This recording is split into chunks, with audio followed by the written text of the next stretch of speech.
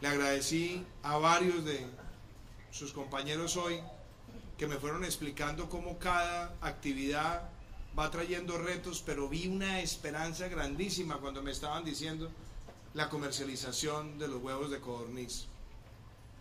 Yo vengo hoy acá a hablarles de, de ese país que tenemos que construir juntos, que debemos construir juntos, que podemos construir juntos y que estamos llamados a construir juntos.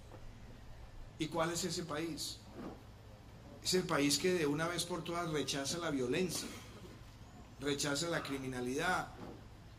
Y lo que ustedes están haciendo de dar ese paso adelante, pueden tener la certeza que estamos acá empeñados en que ese paso sea un paso exitoso.